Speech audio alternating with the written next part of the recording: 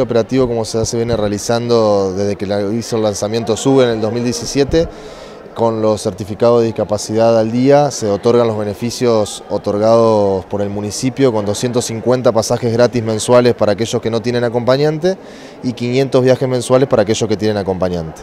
Este beneficio ya lo tienen y vence a fin de mes.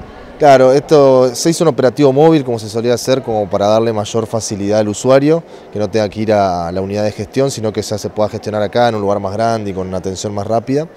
Eh, la idea es eh, que aquel que no se, que tiene el beneficio lo quiera hacer, viene y averigua en el IPRODI y ya se le puede otorgar. Y aquellos que ya tienen el beneficio y lo tienen que renovar, que vencen el 31 de enero, lo puedan hacer en esta locación. ¿Qué pasa con aquellos que no hacen la renovación? No, eso está bueno que me lo pregunte, así damos tranquilidad también. No es que solamente la renovación va a ser esta semana, ni que va a ser el día de hoy solamente.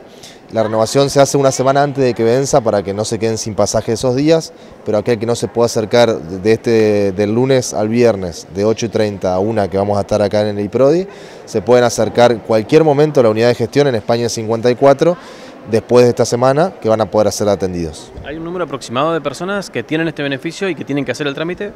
Anualmente más o menos el beneficio lo están otorgando a 2.500, 3.000 personas que han gestionado los descuentos por, para colectivos. Así que supongo que esta vez vamos a estar en ese mismo número de, renovaciones, pero bueno, aquel que no ha tramitado su pases libre y lo quiere realizar se puede hacer acá en el instituto, a nosotros nos pasan la nómina y ya le podemos otorgar los pases. Hay mucha gente hoy haciendo el trámite.